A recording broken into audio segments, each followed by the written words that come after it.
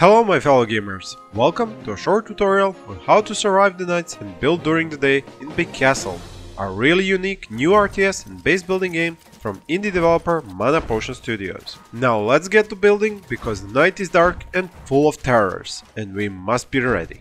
You start each game in Becastled by building, you guessed it, your castle. This is your main building and if demolished, it's game over. It's also a place from which you get new villagers who are called solar citizens in this game. Each solar citizen can construct buildings, but they cannot repair them. For this we need to construct a builders guild and employ citizens as builders. You can rotate buildings with C and V key to orient them any way you want. First we need a sawmill to harvest wood from surrounding trees. This resource is mainly used for construction of buildings, but also for capturing new areas of the map which are called cells.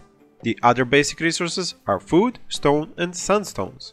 We will cover these later in the video. Next we need a house to increase the maximum number of solar citizens who can live in our sunny kingdom. With new citizens, the need for food goes up, so we have to expand our kingdom into neighboring cells to acquire areas where food can be produced. When you click on any cell you don't own, in the lower right corner you can see how many resources it takes to capture that cell and what can be harvested inside of it. This one has cows in it, so we need to construct a farm in that cell to produce food. Farms and other food production buildings are limited to one per cell. You can also find cells with boars and deer, which require hunters' huts, while cells with lakes need fishermen's huts. And lastly, cells with flowers need fields and windmills to produce crops. In case you're interested to see what other RTS and base building games are coming out in 2021, check out the video list on the right here or in the description below. Now, back to the build order in Becastled. Once our farm is constructed, cows are herded into it and will start producing food if there are solar citizens working on that farm. Most buildings have room for two workers by default, but this limit can be raised by spending stone. The amount of stone and other resources you have you can see on the top of your screen, where there is also the countdown until nighttime, and with it dark and monstrous enemies. The game will supply you with a starting garrison of soldiers armed with swords and shields. It will also indicate the direction from which the enemies will attack by lighting up blue torches at the borders of your kingdom. This is where you need to mount your defense by setting up your soldiers and fortifications. This first raid is just a probing attack, so no need for walls or towers, but later you will need even more than that to survive the night. The Decorations build tab offers a variety of stone sculptures and vegetation to customize and beautify your kingdom. Just do not go overboard with these, as you will spend resources you will need elsewhere. As night falls, solar citizens run and hide, while their soldiers await the enemies. Combat in Becastled is quite fast, as your soldiers and the enemies deal a lot of damage to each other. You can keep your soldiers alive by using a common RTS tactic of rotating low HP units out of the front line with healthier ones. You can even slow down time to make this easier. Once a new day dawns, it's time to get serious about protecting your kingdom. Your first investment should be an archery range where you will be able to train archers. Each of these archers cost a fixed price in sunstones and take a while to train. You also need to build more houses to increase your population, so you will have citizens who can be trained as archers. Your castle spawns these new solar citizens at a certain rate, so planning and timing is key. This rate speeds up and slows down depending on the condition and happiness in your kingdom. There is an entire happiness system in place and you can see the indicator for it in the top UI bar. Higher population reduces happiness, but buildings such as taverns will increase it. We will cover this in more depth later in the tutorial. If you have been enjoying this video so far, please do not mind me reminding you to hit that like button below and subscribe if you would like to see more content like this in the future. Now we need to start constructing fortifications to defend our kingdom. Let's begin with a tower because it has multiple useful features. First, it has parapets on top which provide great protection for archers and give them a good vantage point to shoot from. Second, it has higher HP than the walls. And third, it has secure doors which prevent enemies from just climbing up. Other defensive buildings include the fence and the wall, which you can construct to guard your borders and deny entry to the Dark Ones at night. The fence is cheaper and quicker to construct, but has less HP than the walls. There is also a gate, but we do not need that just yet.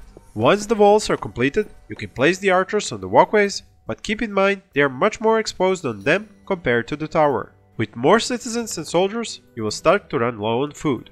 You will need to find another cell with food capture it and construct a food production building, like the hunter's hut on this cell with wild boars. Successive waves of enemies are much more numerous, and so it will be for every next night. Soon they will start bringing rams, catapults and worse.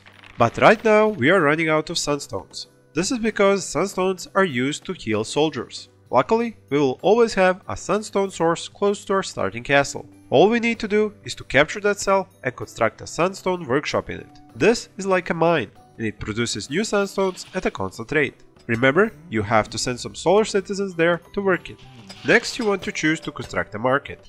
While the name of the building suggests a large structure, it is actually just one small stall. It indicates that there is a bonus feature somewhere but you can get a bonus only when you build several ones close together. In this case, we create the market by building several stalls close to each other. For a market to operate, it needs one solar citizens to work it and for you to choose a type of good to sell there.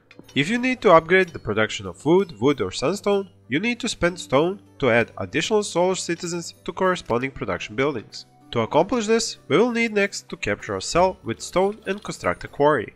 As always, remember to assign a citizen to work there. To keep expanding our kingdom and to construct more fortifications, we need to increase wood production even further. To do this, we will construct another sawmill, assign two citizens to work it, and build more houses to raise the limit of solar citizens. It doesn't take long for the forces of darkness to grow in strength and numbers, and this next attack comes with rams and ogres.